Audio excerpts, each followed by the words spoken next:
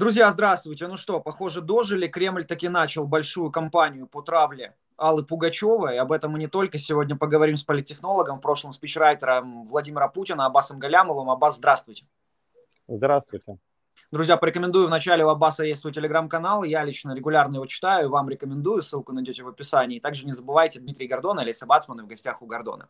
Итак, с критикой главной российской певицы единым фронтом выступили и депутат Госдумы оккупантов Журавлев, и пропагандист Норкин, и режиссер Никита Михалков и кто там, кумир домохозяек Стас Михайлов. Ну, в общем, вся вот эта такая клика путинских э, пешек.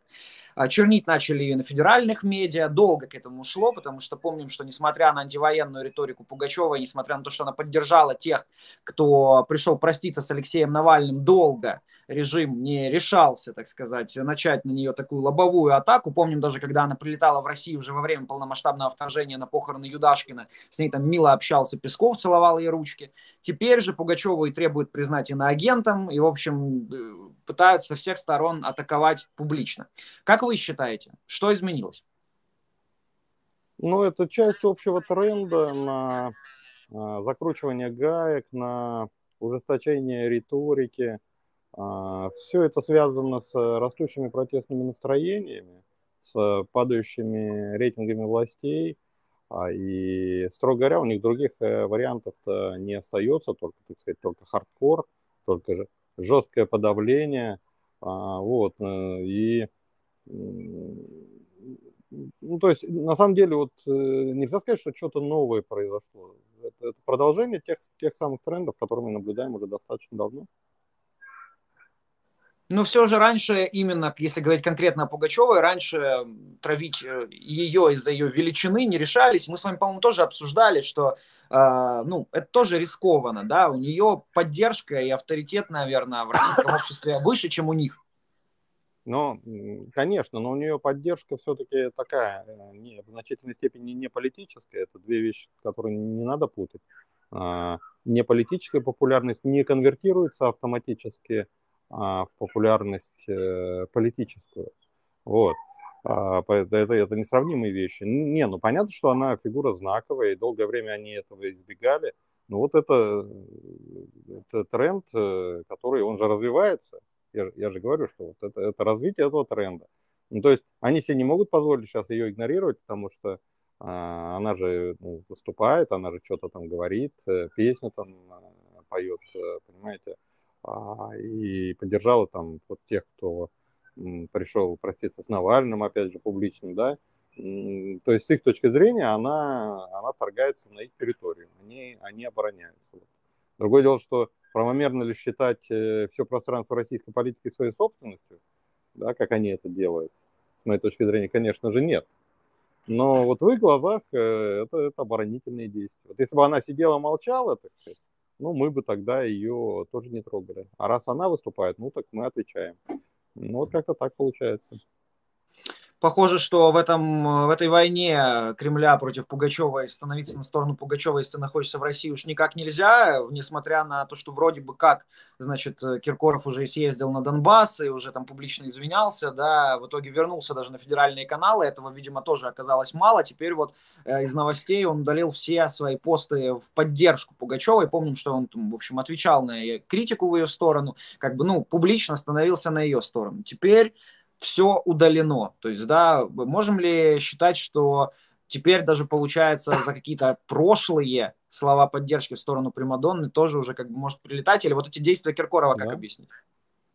Ну да, конечно, он боится, что и за это могут э, пришить э, что-нибудь. Ну там же э, огромное число людей, так сказать, вот на этой ниве патриотической, так сказать, да, на ниве доносительства подвязаются, и они живут, и неплохо живут. Это прям способ их заработка. Там посмотрите на Мизулина, например, э, или этот э, серийный доносчик э, Бородин, да, это, это их работа. Вот они прям, вот э, как вы с утра встаете и там репортажи начинаете делать какие-то, да, там а медийный продукт даете, там токарь идет на завод и что-нибудь там, а, значит, э, руками делает, а эти люди садятся и начинают доносы строчить. И вот э, система реагирует на них. Ну, то есть система это поощряет, на их доносы она реагирует. И Киркоров пытается минимизировать риски в этой связи. Вот и все. Киркоров недавно появился на публике в камуфляже, ну, правда, от э, Луи Виттон в камуфляже, который больше напоминал там форму скорее вооруженных сил Украины, чем российскую. Однако, да, вот этот тренд на войну в искусстве, в моде, мы помним вот недавно буквально, кстати, в день, когда сообщили о том, что количество украинских детей, которые погибли от обстрела в Одессе, достигло уже пяти, одесситка э, Долина вышла на показ мод э, значит, в России с этим плащом таким в триколоре на фоне герба России, там что было написано там «Великая страна» или как-то так. В целом вот тренд на войну, да, мы с вами не раз говорили, что вроде война не популярная, но вот слушайте, смотрите, на показе на неделе мод в Москве это тренд, да, на тусовках э, эстрадных ну, вот Киркоров ходит в камуфляже, это тоже получается тренд. Ну, смотрите, э, когда я говорю о том, что война теряет популярность, я говорю о реальных общественных настроениях. А то, о чем вы говорите, это попытка э, властей, элит навязать э, вот этот военный дискурс. Ну, то есть, да, война становится непопулярной, но она же идет, значит, ее как-то надо популяризировать, ее надо как-то ну, нормализовать, чтобы люди не воспринимали ее как какое-то извращение, значит, потому что если если они так начнут воспринимать, ну, в конце концов, э, закончится эта революция. Вот. Поэтому каждый тот, кто недоволен, извините, каждый, кто недоволен войной, а, он должен э, чувствовать, что он идет против тренда, да, и сидеть помалкивать, понимаете? А если этот тренд не создавать, ну так тогда война реально скоро потеряет, окончательно потеряет полностью военную поддержку, а режим, который ее ведет, а, превратится вот, ну как э, перед революцией, в канун революции 17 а, года, допустим, превратился режим Николая II, у которого вообще не было, так сказать, общественной поддержки. Да, вот не было социальных групп, которые бы а, были довольны существующим положением вещей. И это, такие вещи всегда заканчиваются революциями. Да? Поэтому это часть пропаганды, направленной на популяризацию войны.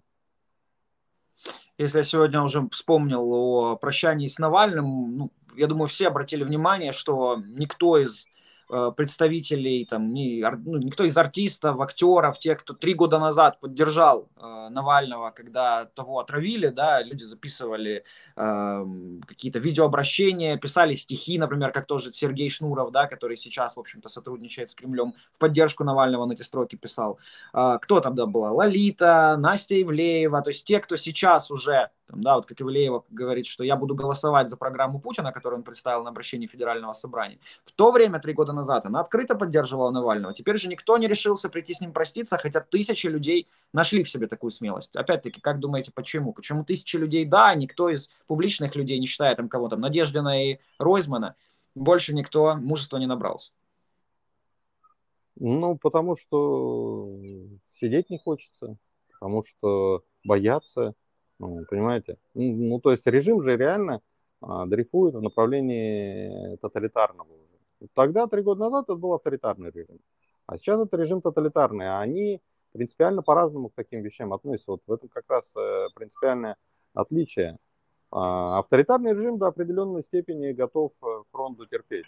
А тоталитарный режим, э, он любую фронту, политическую фронту воспринимает как ну, в буквальном смысле слова, как предательство, которое должно, за которое голову надо рубить. Вот. Атмосфера в стране очень сильно изменилась. Вот как только началась война, этот дрейф в направлении тоталитаризма а, стал э, все более заметным, и сейчас он ну, вот, вот, вот куча проявлений частных, о которых вот вы меня сейчас э, спрашиваете. Это как раз проявление, а, доказывающее правду, вот, э, правду, что общество режим, меняют э, свою природу. Повторюсь, это следствие падающей популярности войны, падающей популярности режима. То есть у них, строго говоря, ну, вариантов э, других нет. Ну, либо, либо просто вот так сказать, сдаваться, да, расставаться с властью, ну, либо вот э, закручивать гайки до бесконечности. Ну, вот до, до того момента, пока резьбу не сорвет. Ну, они этим и занимаются. Ну, позвольте с вами не согласиться, вы вот прям говорите, что это чревато чуть ли было не тюрьмой, да, на месте там кого-то из публичных людей прийти э, проститься с Навальным. Ну, а тысяча людей опять-таки не побоялись этого, ну, прям тюрьма, да, может быть, отказ им там в участии в каких-то федеральных э, программах, ну, может быть, это действительно бы означало. То есть, получается, они туда не придя, действительно, думаете, боялись тюрьмы или они боялись потерять деньги? Это все-таки разные вещи.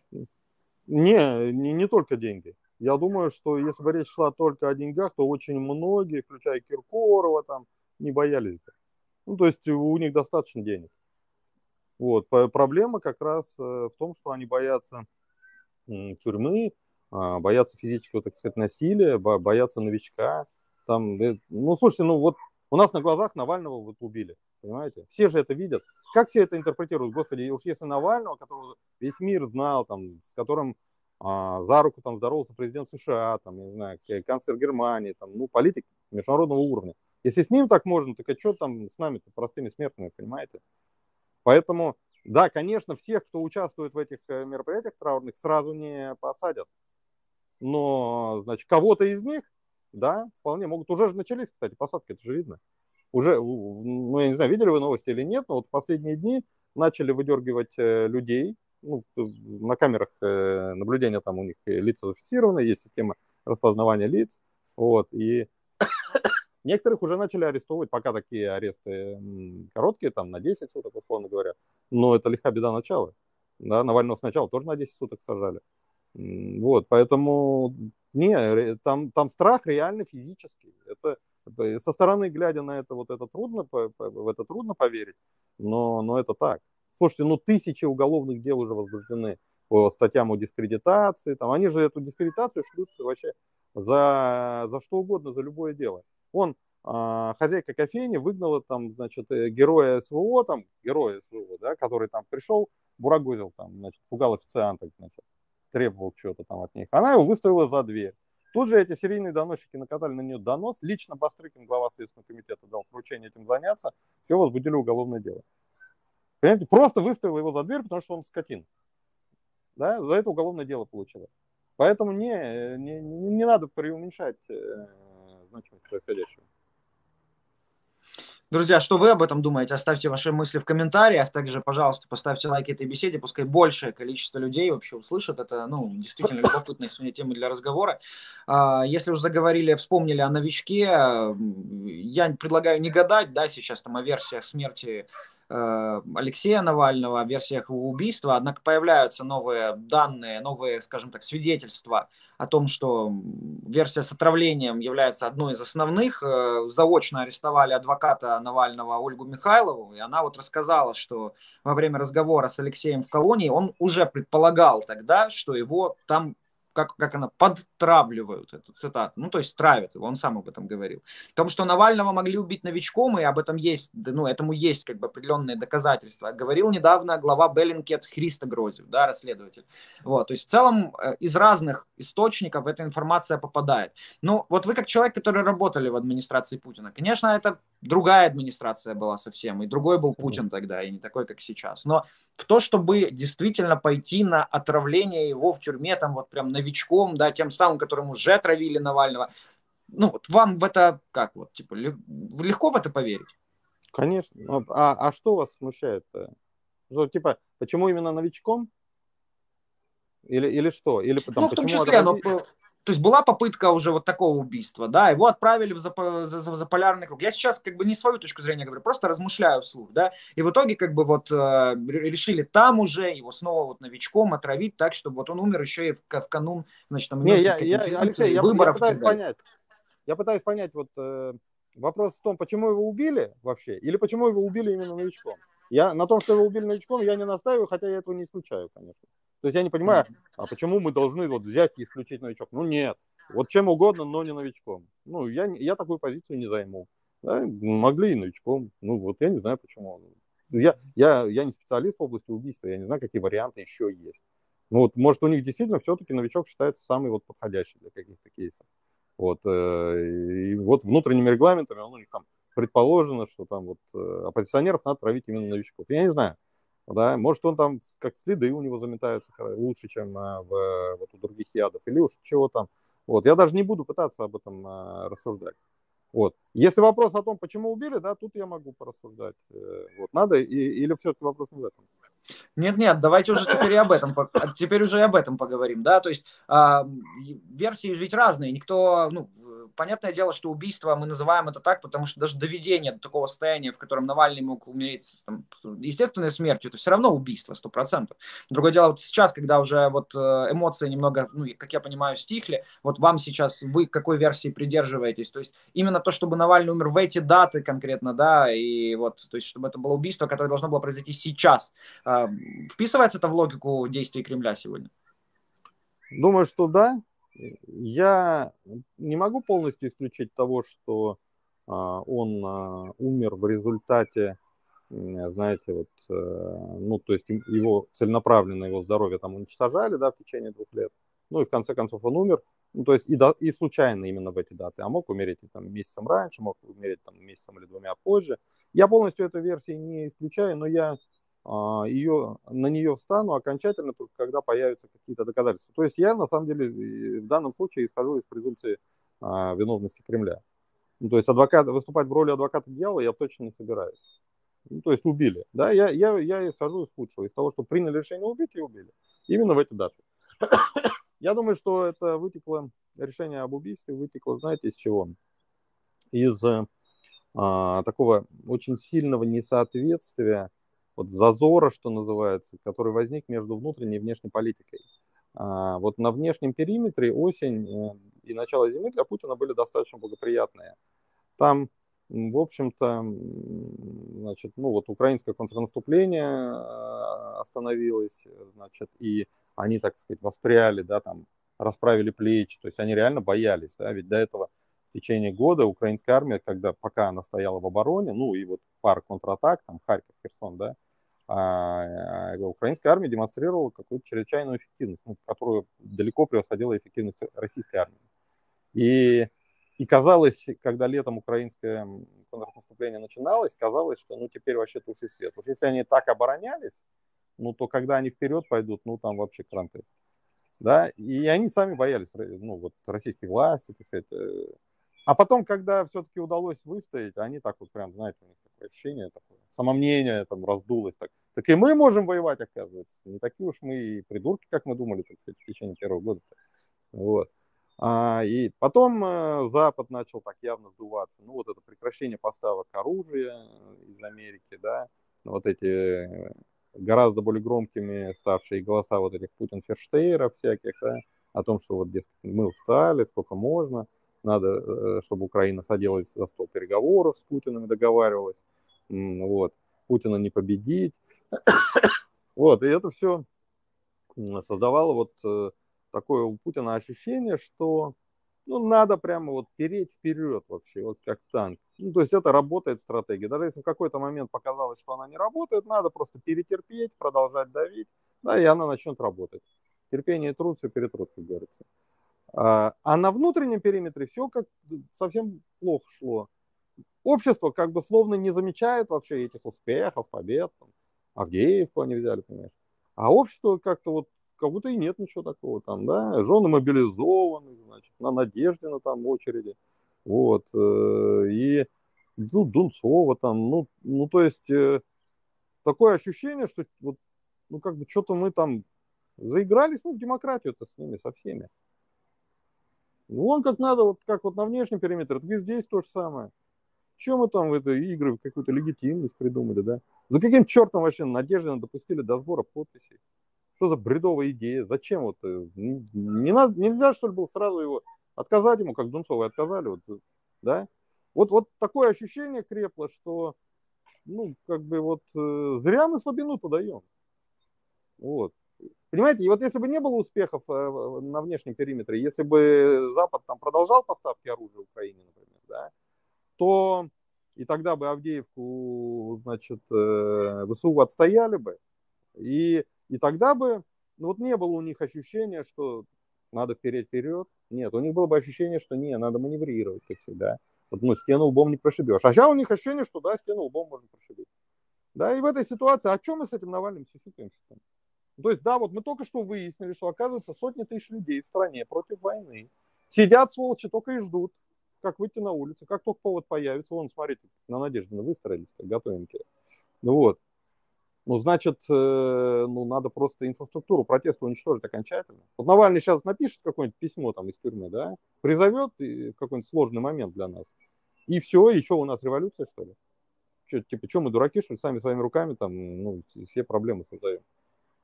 Все, кто способны выводить людей на улицу, их не должно вообще быть, в том числе и в живых. Вот я думаю, как-то так у них это было, и они приняли решение, что... То есть в тот момент казалось, что им казалось, что чем жестче, тем лучше. Да? Нечего вообще считаться с каким-то общественным мнением, там, на какое на, как, на, смотреть, а что они скажут, что они подумают. Да плевать, что они скажут, что подумают. У нас вон там и Росгвардии полно, значит, и, и армия, и ФСБ, и Следственный комитет, и ФСИН, и, и вообще, ну, значит, там миллионы людей, значит, под ружьем стоят. А о чем мы там ними? Вот возобладала такая логика. Как-то так.